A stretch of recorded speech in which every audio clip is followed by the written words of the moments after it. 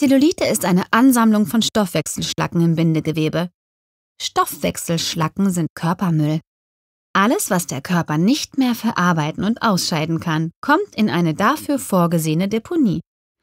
Das Bindegewebe ist normalerweise unser Nährstoffdepot. Und wenn man da genug an Spurenelementen, Mineralstoffen und Vitaminen hineintransportiert, sieht es auch weniger aus wie ein alter Kaugummi, sondern eher wie ein Trampolin. Tierische Eiweiße, also Fleisch, Wurst, Fisch, Eier, Milch und Milchprodukte, aber auch ganz besonders Zucker, auch so ein dummes und hinterhältiges, mieses Arschloch, werden im Bindegewebe zu Stoffwechselschlacken und verstopfen es.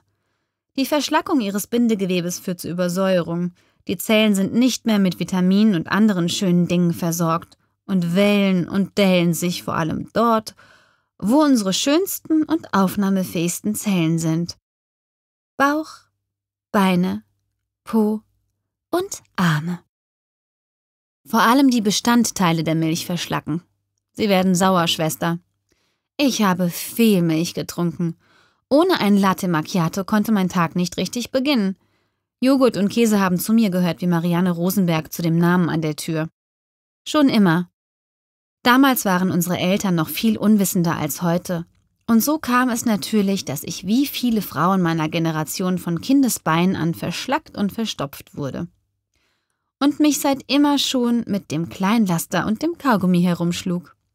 Seitdem ich nichts Tierisches mehr intus habe, jeden Morgen Sport mache, nicht mehr rauche und kaum mehr Alkohol trinke, sind die wunderbaren Bauch, Beine, Podellen um 80 Prozent besser geworden. Und ich bin sehr viel schlanker ohne dass ich hungern muss. Und das auch noch an den richtigen Stellen. Das Beste, was ich tun konnte, war, auf Fleisch- und Milcherzeugnisse zu verzichten. Für die Tiere und für mich. Nicht nur, dass ich viel besser aussehe, ich schlafe besser, ich bin nicht mehr müde.